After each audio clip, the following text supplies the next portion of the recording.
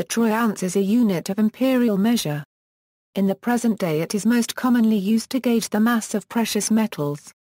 One troy ounce is currently defined as exactly 0.031103476 kg or 31.103476 ag.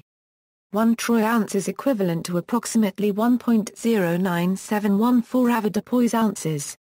The troy ounce is part of the troy weight system, many aspects of which were indirectly derived from the Roman monetary system. The Romans used bronze bars of varying weights as currency. An grave weighed equal to one pound. One-twelfth of an grave was called an uncia, or in English an ounce. Later standardization would change the ounce to one-sixteenth of a pound, but the troy ounce, which is one-twelfth of a troy pound, has been retained for the measure of precious metals. At 480 grains, the troy ounce is heavier than the avoirdupois ounce, which weighs 437 and one-half grains, about 10% more than the avoirdupois ounce, which is 28.3495231225 Ag. To maintain purity standards and common measures across time, the troy ounce was retained over the avoirdupois ounce in the weighing and pricing of precious metals. Likewise, the grain, identical in both the troy and avoirdupois systems, is still used to measure arrow and arrowhead weights in archery along with projectile and propellant weights in ballistics.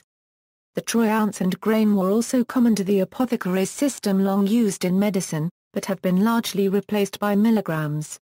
Etymology The name Troy is first attested in 1390. Though it is often connected to a fair at the city of Troyes, France, this story may have been invented in the 18th century. History The Troy ounce in use today is essentially the same as the British Imperial Troy ounce adopted as an official weight standard for United States coinage by Act of Congress on May 19, 1828.